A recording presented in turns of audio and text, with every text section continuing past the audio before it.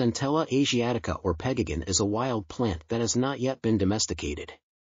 Its excessive use in both traditional and modern medicines poses a threat to its population and sustainability.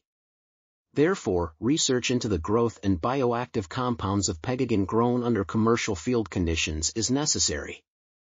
This study aimed to identify the levels of certain compounds found in pegagan's leaves and roots, such as Asiaticoside, Madecassoside, and Asiatic acid.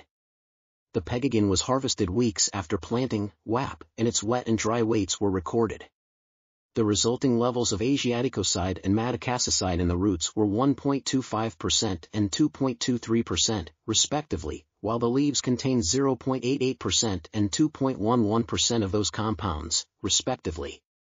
In contrast, the Asiatic acid level in the leaves was 1.1%, while it was 0.6% in the roots.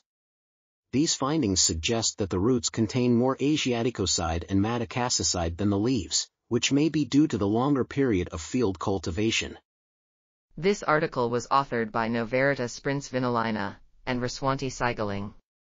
We are RTCL.TV, links in the description below.